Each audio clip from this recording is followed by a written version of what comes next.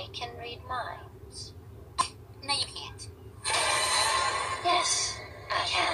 No, This isn't really happening. It is really happening.